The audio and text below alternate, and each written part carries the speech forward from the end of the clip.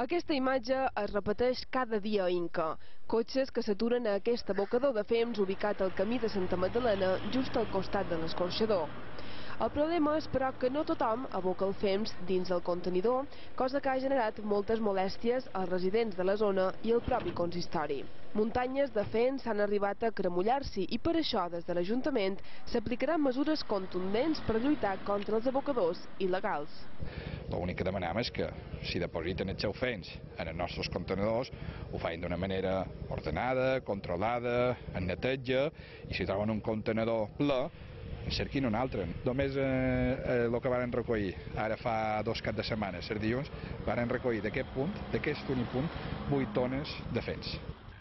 Segons el consistori Inqué, aquest problema es veu incrementat durant els finals de setmana i sobretot durant les nits. Pensen que molt del fens abocat prové d'habitants d'altres municipis que dipositen el seu fens de passada per la capital del Reiguer.